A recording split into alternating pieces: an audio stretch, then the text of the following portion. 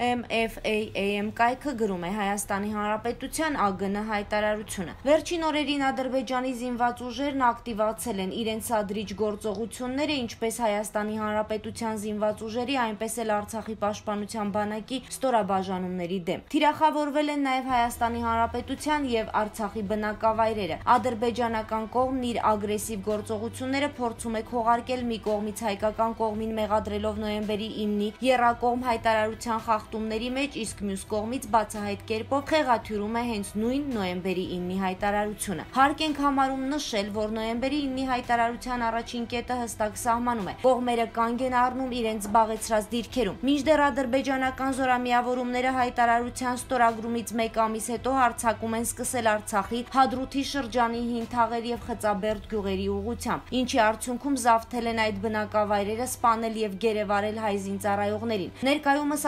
ադրբեջանական կողմը նույնպես փորձում է նոր դիրքեր զբաղեցնել շփման գծի տարբեր հատվածներում, տարբեր զինատեսակներով, այդ թվում անօթաչու թռչող սարքերով, թիրախավորելով հայ դիրքապահներին։ Նման օրինակ վերջին միջադեպը տեղի ունեցել այսօր Մխի Թարաշեն եւ Գոշ գյուղերի մերձակայքում։ Ադրբեջանական կողմի այն պնդումները, որ նոյեմբերի 9-ի Եռակողմ հայտարարությունը սահմանում է հայկական զորամիավորումների դուրսբերումը Լեռնային Ղարաբաղից բացահայտ կեղծիք է։ Ստեղծված իրավիճակում Արցախի պաշտպանության բանակը, որը ձևավորվել է Արցախի ժողովրդի կողմից 90-ականներին եւ վերջին 30 տարիներին, անվտանգության առանցքային գործոն է հանդիսացել, այսօր էլ ՌԴ խաղաղապահների հետ ապահովում է Արցախի ժողովրդի անվտանգությունը եւ կյանքի իրավունքը։ Առանց պաշտպանության բանակի Արցախի ժողովուրդը չի կարող գոյատևել իր պատմական հայրենիքում եւ պաշտպանության բանակը Արցախից դուրս բերելու սցենարը Արցախը հայաթափելու սցենարն է։ Նոյեմբերի 9-ի հայտարարության մեջ հայկական զորամիավորում հարձակումների դուրսբերումը նախատեսվել է միայն Լեռնային Ղարաբաղի հարակից շրջաններից, որոնք հստակորեն մատնանշված են հայտարարությունում։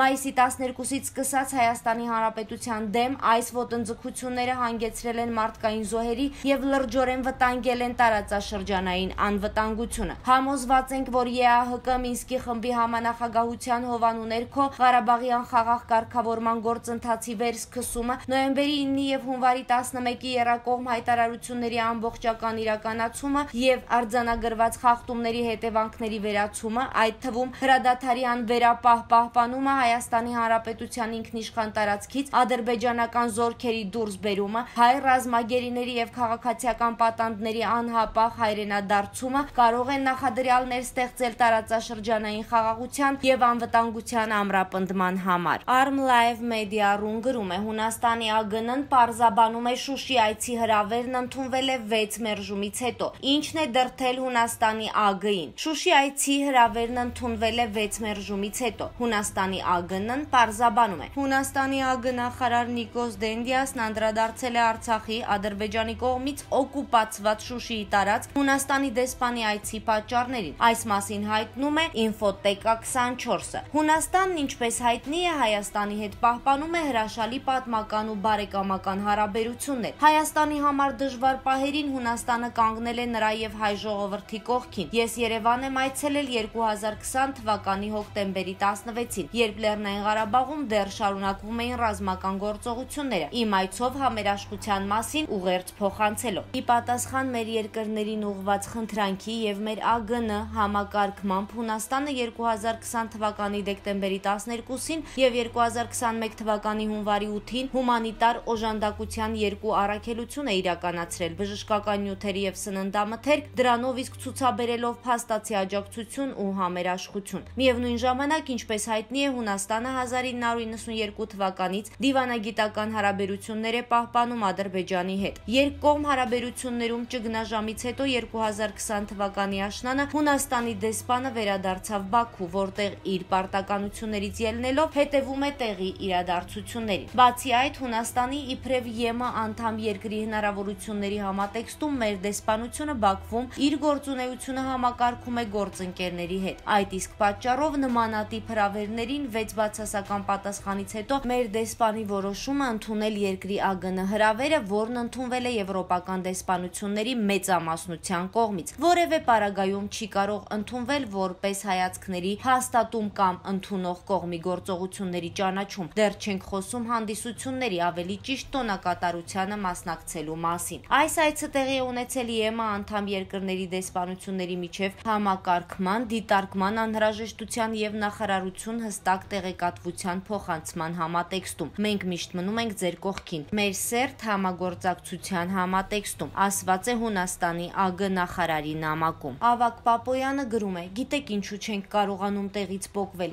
Գիտեք ինչու ենք մինչ օրս ռսական կանդալներով կանդալված, որովհետև մեր գիտակցությունը Լենինյան թմբիրից դեռ լրիվ չի արտնացել։ Դեռ փրկչի կեղծ շորշոփը չենք վերացրել մեր վրայից, որովհետև պարաված դաշնակցի պատրված դիմակը տեսնում, բայց մտածում ենք, «Всё-таки կարող է տակից մարդու դեմք երևա», որովհետև ռուսական դպրոցում սովորելը դեռ պրեստիժ ենք համարում, որովհետև գողական ռազմորկաների ժամանակ ռուսերեն բառեր օգտագործողներին գաղափարով տղա ենք համարում։ Հայերեն խոսելիս ռն ընդգծողին դեռ զարգացած ենք համարում։ Դոլար, գրպան, վերելակ, որովհետև կինո գնալիս ադիբուդի առնելը հնաոճ ենք համարում, բայց առանց պոպկորնի կինո նայելը ինտելեկտի ցածրություն ենք համարում, որովհետև զուգարան գնալը անտակտություն ենք համարում, իսկ տուալետ գնալը բնական պահանջ, կամ դամսկի կոմնատա, որովհետև բարևը, բարի լույսն ու բարի օրը սովորական ենք համարում, իսկ պրիվետը մտերմիկ ողջույն, որովհետև հենց ինքներս չենք ուզում ազատվել շեք բարքերից ու զասվելու սովորությունից։